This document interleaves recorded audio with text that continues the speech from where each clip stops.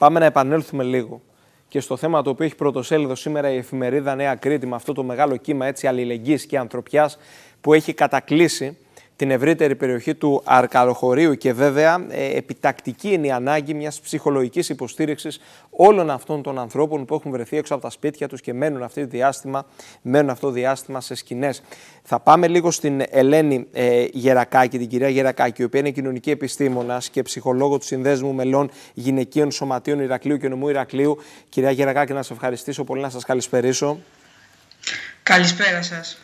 Το παρόν που δίνουν ε, εθελοντές, οργανώσεις, ομάδες, συλλογικότητες αλλά και ψυχολόγοι στο Αρκαλοχώρι σήμερα είναι συγκινητικό και στο επίκεντρο αναπόφευκτα έχει βρεθεί και η ψυχολογική υποστήριξη ε, των σεισμόπληκτων. Ε, θα ήθελα ένα πρώτο σχόλιο και πόσο ανάγκη, επιτακτική ανάγκη βρίσκεται ε, αυτή τη στιγμή αυτή η βοήθεια προς αυτούς τους ανθρώπους. Ε, είναι πραγματικότητα ότι ο κόσμος από την πρώτη στιγμή όπου ο καταστροφικός σεισμός της 27 Σεπτεμβρίου έπληξε την, το Αρκαλοχώρι αλλά και την ευρύτερη περιοχή ε, και τα γύρω χωριά, έχουμε, ένα, έχουμε μεγάλες καταστροφές στην περιοχή, το κύμα αλληλεγγύης και ανθρωπιάς που έδειξε, έδειξαν οι συνάνθρωποι μας είναι φοβερό, είναι συγκλονιστικό, με μεγάλη κάλυψη όλων των βιοποριστικών αναγκών και φυσικά από την πρώτη στιγμή και αρκετά γρήγορα θα λέγαμε κινητοποιήθηκε η σκέψη για έναρξη της ψυχολογικής υποστήριξης των ανθρώπων από τις πληγές περιοχές. Δηλαδή από τις ε, πρώτες μέρες βρέθηκαν στην περιοχή κοινωνική λειτουργή και ψυχολόγοι. Ακριβώς.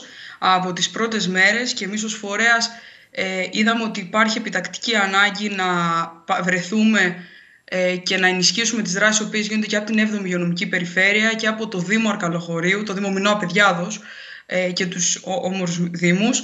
Ε, οργανώσαμε δίκτυο εθελοντών, κάναμε ανοιχτό κάλεσμα σε επαγγελματίες ε, ειδικούς ψυχικής υγείας για να μπορέσουμε να στηρίξουμε την, ε, τον κόσμο που αυτή τη στιγμή βιώνει ένα μαζικό τραύμα και όλοι απαριθμούν απώλειες, ε, ηλικές, ε, ψυχική ε, ψυχική, οι ψυχικές μας δυνάμεις δοκιμάζονται ε, γιατί ξέρετε ότι όταν έχουμε ένα ε, τέτοιο καταστροφικό γεγονός και τόσο μεγάλου εύρους σε έναν χωροχρονικά συμπυκνωμένο χώρο ναι. ε, το υλικό κόστος ε, είναι αρκετά μικρότερο από το ψυχολογικό κόστος το οποίο έρχεται στη μετέπειτα. Και το ψυχολογικό Οπότε, κόστος περιλαμβάνει και το ψυχοκοινωνικό κομμάτι, περιλαμβάνει το οικονομικό κομμάτι, περιλαμβάνει την επόμενη μέρα. Ένας επιστήμονας λοιπόν της ψυχικής υγείας τι πρέπει να περάσει, τι θέτει ως προτεραιότητα στην πρώτη συζήτηση που θα κάνει με έναν σεισμόπληκτο, με έναν άνθρωπο που έχει χάσει την περιουσία του; Ε, θα προσπαθήσει αρχικά να, να εφαρμόσει τεχνικές ενεργητικής ακρόασης, ανακουφιστική αφήγηση. Αυτό προσπαθούμε. Προσπαθούμε να πλησιάσουμε τον κόσμο και να ακούσουμε αυτό το οποίο έχουν να μας πούν. Πολλές φορές ακούμε ε, τους ανθρώπους να ανακαλούν την ώρα του σεισμού, τον τρόπο με τον οποίο κατάφεραν να βγουν αλόβητοι. Είχαμε δυστυχώς ένα θύμα, είχαμε μια απώλεια ζωής. Ε, είναι ευτύχημα το που δεν είχαν περισσότερες ε, απώλειες, απώλειες ζωής, ειδικά να αναλογιστούμε με τις εικόνες τις οποίες ε, όλοι έχουμε δει, όλοι έχουμε δει και αυτοπροσώπως, το ότι το μέγεθος της καταστροφής και οι ζωές που θα μπορούσαν να χαθούν θα, θα μπορούσαν να είναι πολύ περισσότερες. Ε, ευτυχώς σήμερα ε, προσμετράμε δυστυχώς μόνο ένα θύμα.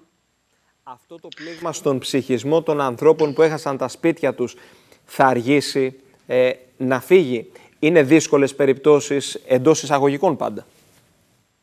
Ε, φυσικά και είναι δύσκολες. Πάντα μετά από ένα τέτοιο τραυματικό γεγονός ε, ε, χρειάζεται πολλή υποστήριξη και μια υποστήριξη η οποία βασίζεται τόσο στα χαρακτηριστικά που έχει το άτομο, το πώς ο καθένας θα διαχειριστεί την απώλεια και την καταστροφή την οποία έχει να αντιμετωπίσει, όσο και στον περίγυρο, το πώς θα στηριχθεί, το πώς ο κόσμος θα επικοινωνήσει μεταξύ του, το πώς οι άνθρωποι που έχουν βιώσει το ίδιο γεγονός θα μπορέσουν να μιλήσουν μεταξύ τους, να δώσουν δυνάμεις και υποστήριξη ένας στον άλλον, αλλά φυσικά φτάνουμε και στο κομμάτι της ψυχοκοινωνικής υποστήριξης, της κοινωνικής αρρωγής, στο κομμάτι του ψυχολογικού τραύματος και φυσικά όλα τα υπόλοιπα μέτρα τα οποία είναι σημαντικό να γίνουν για να στηρίξουν τους ανθρώπους ε, στο βιοποριστικό κομμάτι. Γιατί αν οι πρώτες βασικές ανάγκες ενός ανθρώπου δεν ικανοποιούνται, καταλαβαίνουμε ότι το ψυχολογικό κομμάτι και το θεραπευτικό κομμάτι έρχεται σε δεύτερο χρόνο.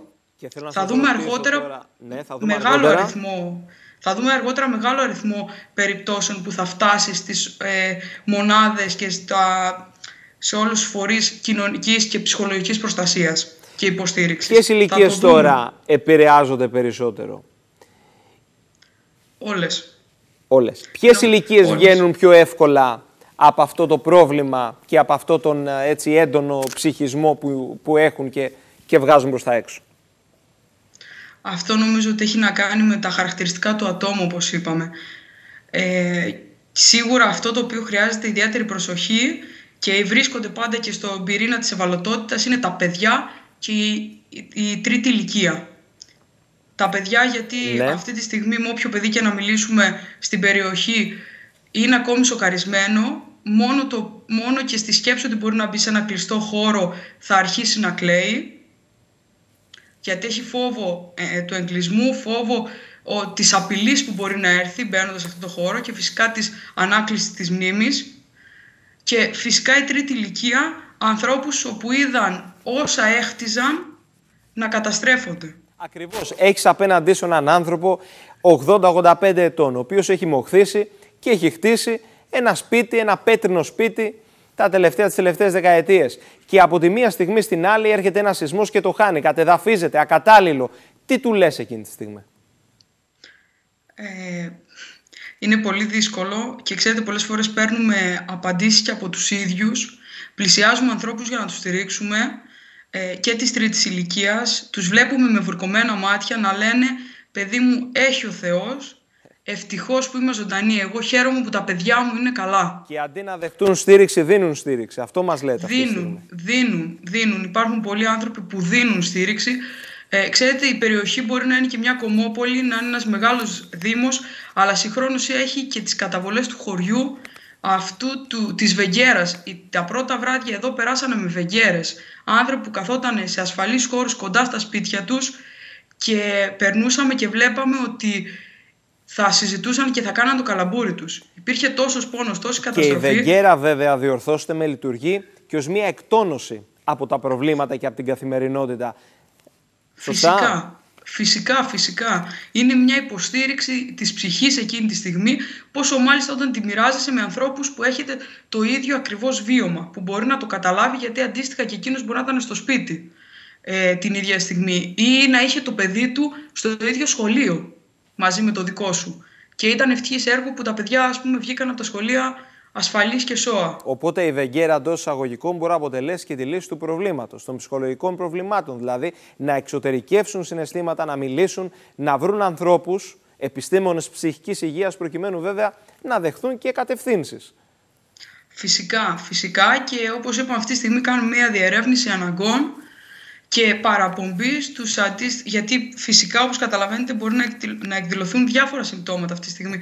Τόσο αγχώδων και, αγχωδών και συ- συναισθηματικών διαταραχών, επεισόδια πανικού, ε, έχουμε έντονη ευερεσ- ευερεθιστικότητα τώρα, ε, υπερένταση, αναμνήσεις, εφιάλτες, αδυναμία, υπνίες, πράγματα τα οποία μπορεί να χρειαστούν και, και όχι μπορεί, σίγουρα θα χρειαστούν και ψυχολογική υποστήριξη μιας ε, κα- συστηματικής παρακολούθησης, ίσως και κάποια βοήθεια ακόμη και με φάρμακα για να αντιμετωπιστεί αυτό το γεγονός για ένα διάστημα. Κυρία Γερακάκη, να κλείσω ζητώντας σας ένα προσωπικό σχόλιο. Ε, σας ανήκει και ένα άρθρο σήμερα στην εφημερίδα Νέα Κρήτη, σωστά; Είστε ένας άνθρωπος που κατάγεστε από την, α, από την περιοχή, από το Αρκαλοχώρι.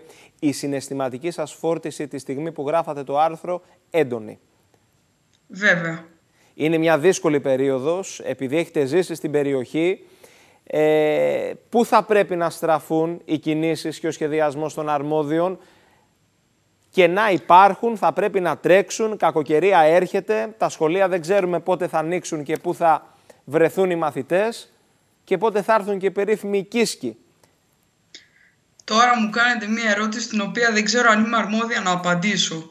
Νομίζω ότι σε αυτό θα πρέπει να μας απαντήσει η πολιτεία και σίγουρα και η βοήθεια της πολιτείας και των αρχών να είναι καθοριστική στο να όλοι αυτοί οι άνθρωποι να βρουν ξανά το δρόμο τους. αυτό που Εσείς μπορώ με σαν σιγουριά ένα, να... σ- σωστά, ένας πολίτης, μία πολίτης η οποία έχει περιουσία στο αργαλοχώρι, οι απαντήσεις που έχετε πάρει μέχρι και αυτή τη στιγμή σας καλύπτουν; Δεν ξέρω να σας πω αν εφαρμοστούν ίσως και να μας καλύψουν. Υπάρχει έντονη, υπάρχει έντονη δυσπιστία. Αναμονή λοιπόν. Σωστά. Ακριβώς. Και έντονη δυσπιστία. Το σημαντικό όμως και αυτό το οποίο θέλουμε να βγει παραέξω και να ξανατονίσουμε είναι ότι υπάρχουν ειδικοί, είμαστε όλοι εδώ να βοηθήσουμε όπως μπορούμε και στο ψυχολογικό αποτύπωμα το οποίο έχει συμβεί και φυσικά το μεγάλο μήνυμα της περιοχής και αυτό που βλέπουμε και από τον κόσμο που στηρίζει είναι ότι είμαστε καλά, είμαστε δυνατοί και αφού είμαστε δυνατοί όλα θα τα βρούμε. Μάλιστα. Λοιπόν και με αυτό να κλείσουμε. Να σας ευχαριστήσω θερμά Κυρία Γερακάκη, σας ευχαριστώ πολύ για ακόμα μία φορά. Αποδεχτήκατε την πρόσκληση, είπατε τη γνώμη σας, μας άκουσε και κόσμος. Λοιπόν, ε,